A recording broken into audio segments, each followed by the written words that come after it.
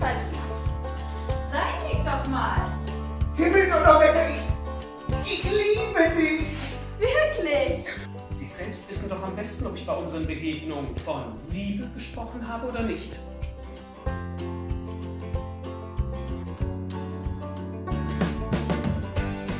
Mit diesen, meinen Händen, würde ich sie erwürgen, wenn sie der Eltern an ihrer Mutter untreu geworden wäre. Vor ihren Augen würde ich ihn mit meinem Viereisen erschlagen. Ich würde sie erschließen und ihre Liebhaber, wenn sie gefrevelt hätte. Setz dich, gnädige Frau, immer fest drauf!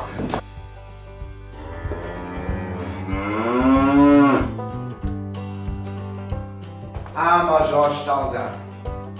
Du hast den größten Fehler deines Lebens gemacht.